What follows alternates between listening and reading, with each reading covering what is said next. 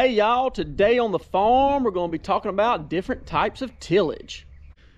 Y'all can see I still have the field cultivator hooked to the 4960, but we're not going to be doing any shallow tillage today. Today it's going to be deep tillage. I'm going to be on the 8530 with the 11 prong V Ripper KMC subsoiler. I'm going to hopefully finish up all the subsoiling for the year today, and then we're going to switch back over to the bottom plow. I've got my tractor serviced up, so now I'm gonna come back here and look over my subsoiler. What I'm looking at is the wear on the points here. Uh, initially, I'm gonna look and see if they're hanging down. So if, as they get worn, they won't be hanging down as far. Then I'm gonna look at the back of them. Sometimes the back will wear thin. This one's not worn thin, it's in good shape. Next thing I'm gonna do, I'm, I'm checking my where a hard surface at, making sure the hard surface is still on there. We hadn't worn that off. And then I'm looking at my shin guards as my shin guards start to wear, they'll have a little more contour to them, a little shape. And see, this one is wider than the foot, and that's how you want it to be. That means it's taking the brunt force of all that, that sole instead of the foot. And so we're wearing this instead of wearing this. What you don't want is for this to wear out and then you start making your foot narrower and then you wear out your foot. Uh, if I wear these feet out, this whole shank, all the way across this machine, you're, you're talking about thousand dollars on the low end to replace those shanks. So it's important I look at these shin guards every morning and sometimes throughout the day to make sure they're not wearing out. Here's an example one that I'll probably change today. You see this this bottom one is good and straight, and this top one's got a dip in it, and it's starting to get thinner right there. So this one I may replace.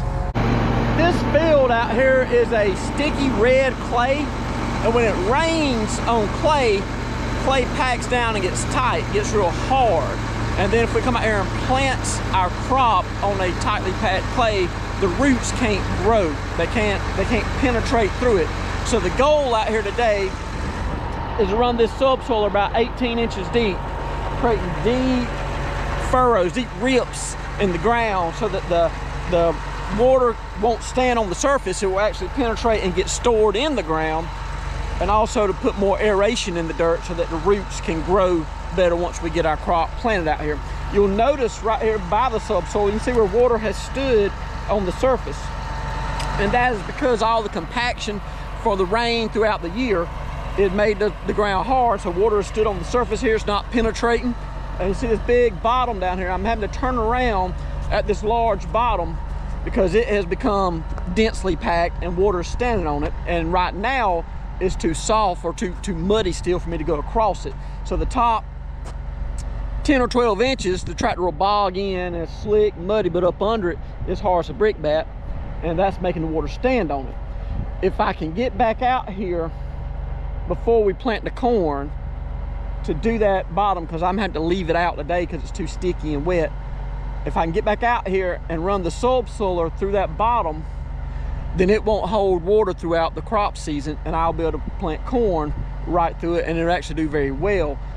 If I don't subsoil that bottom before the crop season, every time it rains, water will stand out there for a week and it'll drown anything that gets planted there and subsequently no crops will be made on that bottom. Subsoiling it helps the water get into the ground and helps the, the crops grow, helps aerate it so we get good root growth. This subsoil is a real simple machine we have a wavy coulter up front. That's the first line of attack. It's breaking open the surface of the ground for this uh, shank. This shank is buried down in there about 20 inches currently, 18 to 20 inches. And so we're breaking open the ground so it won't roll out a, a clod, a large dirt clod with this. And then we're coming behind it with a deep, deep cut, getting that aeration. And behind the shanks, we have a row of S-tines so you see these shanks behind them is, is leaving it kind of kind of cloddy looking. Well, these S-tines stir that up, get, get it broke up just a little bit more, and then a drag pipe leaves it smooth-ish, smooth-ish. It's not perfect. You will have to come back out here right ahead of the planter and run a field cultivator, get looking like a bed sheet. But this is good enough for now. This is what this machine does. And we got the right moisture. It is running textbook right now.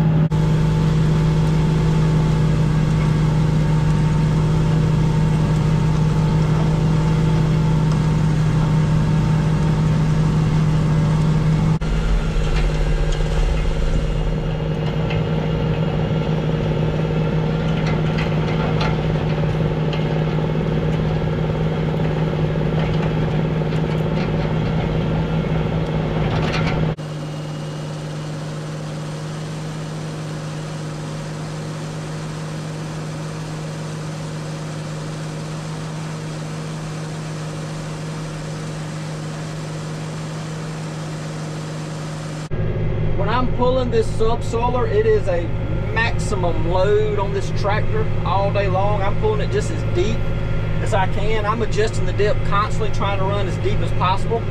If I can run a little bit deeper, I'm bumping it down. If it's loose, just a little bit of traction, I bump it up. I'm trying to keep it as deep as possible all day to get the most benefit. And as a result of that, the tractor's under load all day. It's doing the maximum amount of work it can do in a day. And so my fuel consumption in a full day of subsoiling is about 180 gallons of diesel a day while I'm pulling this big V-Ripper.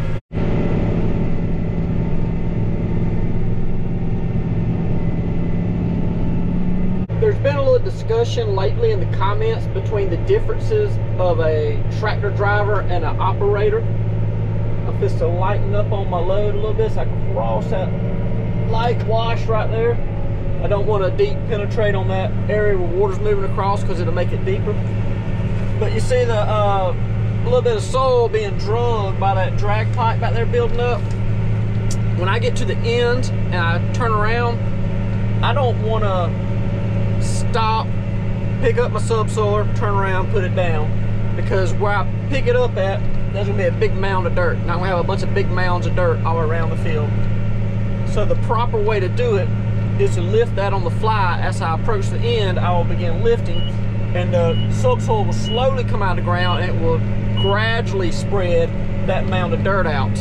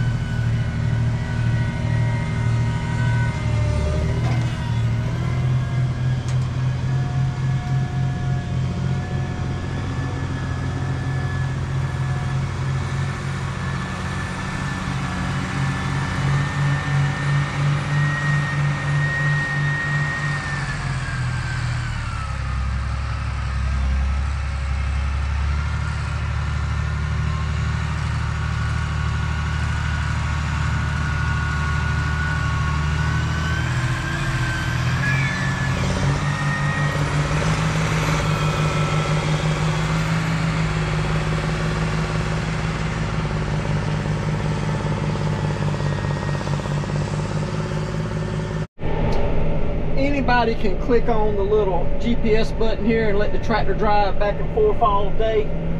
Be it be a tractor driver, so to speak. But to be an equipment operator, if you're going to be a true operator, you're sitting here making adjustments all day. You're paying attention to what's going on. And it's all about those little details. All those details add up to a big difference over the course of a day.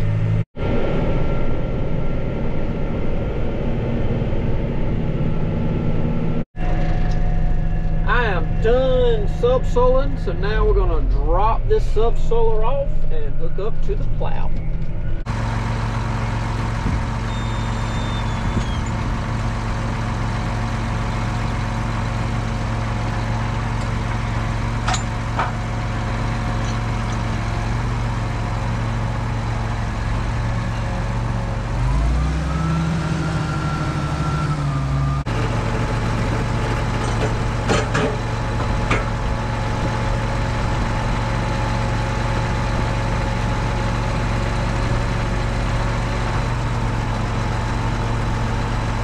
Now that I got the plow hooked up, I'm gonna check some of the wear parts on it. I'm looking to see how far this projects past this frame down here. That's a still a lot of wear right there. As this gets shorter, we will replace it because you'll start wearing the foot. You don't wanna do that. I'm also gonna look at these plastic pieces, make sure they're not worn too thin. I'm checking them by looking at the size of the bolt heads. As they get worn thin, that bolt head will shrink and then you know your plastic's gonna come off. These pieces are also replaceable. I'm looking at those, the bolt heads on them. I'm looking at the slides back here. This is called a slide. I'm checking the thickness of this slide right here and here to make sure they are still good. When I am plowing with the tractor, I'm only gonna burn about a 100 gallons of fuel a day, so that's about 80 gallons less than what I burn when I'm subsoiling. The tractor isn't under as much of a load pulling this plow, even though it is an eight bottom plow. I could still, I could pull it faster than this if I want to, but it would throw the dirt too far and leave the field uneven. So I'm rolled back, right now I'm running 3.7. I will pull it as fast as five in some conditions, depending on the, the dirt where I'm at in that part of the field. But with this red dirt, about four miles an hour, with, with the moisture that's currently in it, is, is where I want to be. Much over that right now, and it's going to throw it too far.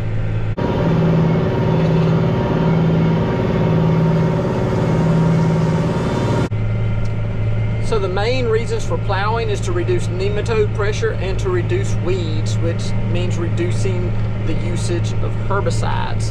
And the main reason for subsoiling, which is what we do there on the corn land, is to help the water, the rain get into the ground. So we decrease runoff when we subsoil. And we also uh, increase the, the ground's ability to absorb and hold more water when we decrease runoff. And while we're doing that subsoil, while we're increasing the, the ground's capacity to hold water, we're also making it where the roots can grow easier. But this process also makes it where the roots can grow easier. We fluffed up the ground so we get better root growth. And when we get better root growth, we get better yield.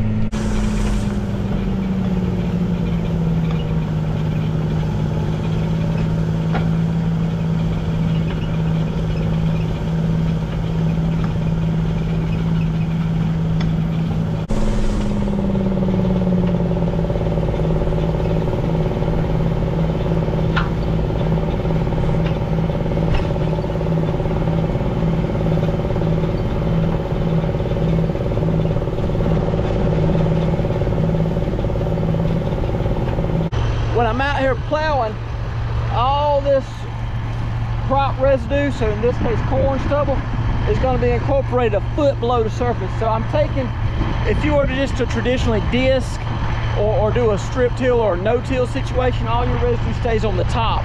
And you will build up a layer there of the top, but with the plowing, we're incorporating the full root zone. So we'll have organic material throughout the entire root zone instead of just right there on thin layer on the top.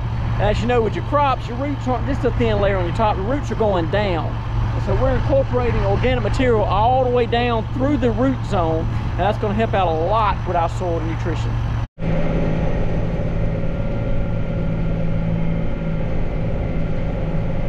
Plows are divided into four categories, but it's really two and two. All plows are either on land or in furrow. And that refers to whether or not that wheel is in this furrow or not. If the drive wheels are on land, it's an on land plow. If you ride with your wheels down in the furrow, ride like this all day, that's in furrow.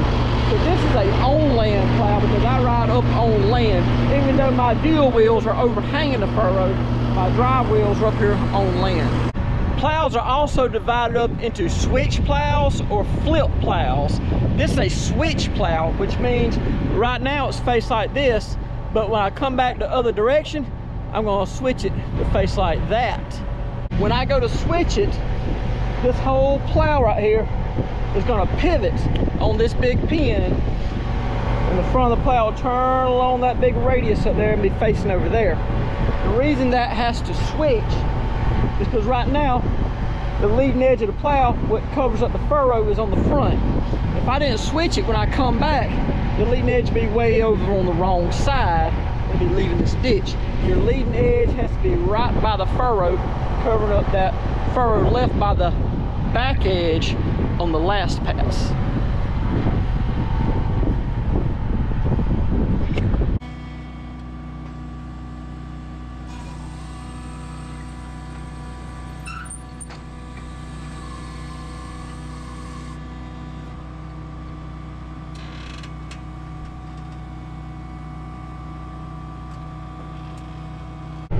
A flip plow, by contrast, has a set of plows mounted on top of it up in the air that are facing one direction and a set of plows down on under it that are facing a different direction. And so when they go across the field one way, they have it standing up and when they come across the field the other way, they turn it over.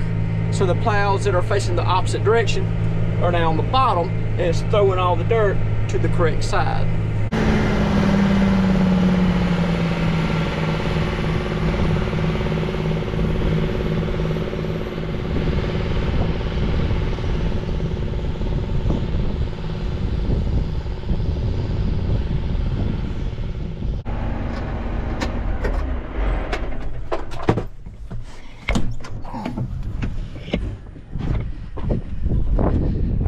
gonna do it for today. We got another big rain fist to fall off in here in about an hour. We gotta get everything battened down, hooked down, so don't nothing blow away.